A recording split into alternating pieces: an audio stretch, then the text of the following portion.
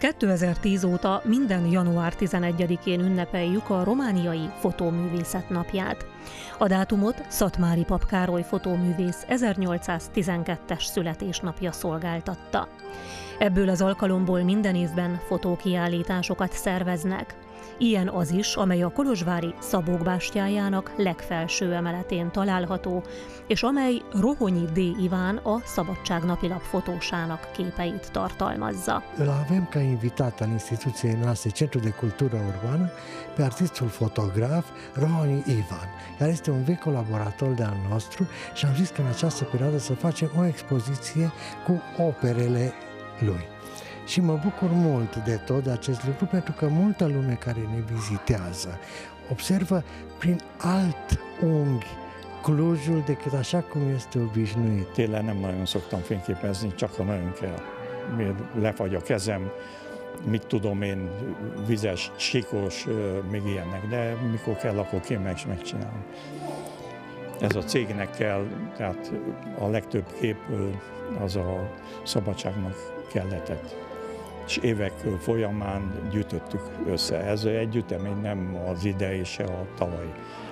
Inkább nincs hó, de ez legalább tíz éves ennek. A kiállítás szervező azt mondja, a fotókon látszik, hogy a fotográfus tőzsgyökeres kolozsvári, hiszen olyan részleteket lát meg a városban, úgy érzi a várost, ahogy csak egy itteni születésű érezheti.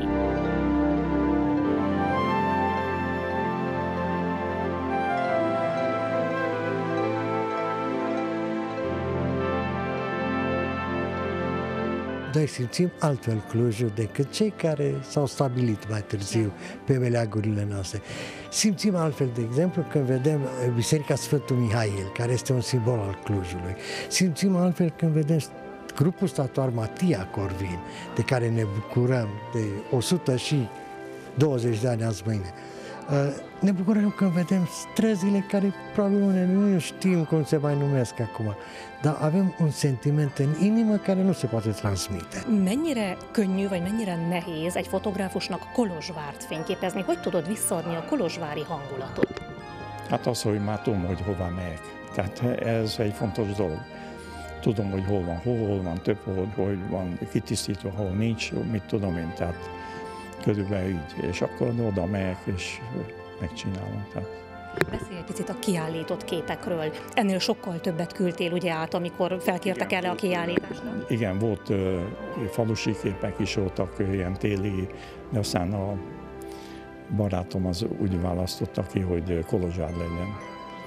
És akkor csak Kolozsváron. De van vidékről is egy csomó, és még Kolozsváról is éppen tegnap néztem a számítógépben, és még volt egy csomó izgalmas kép, amit nem küldtem el, de lehet, hogy egyszer majd kiállítom azokat is. A kiállítás január végéig látogatható Kolozsváron a Szabók bástyájának legfelső emeletén.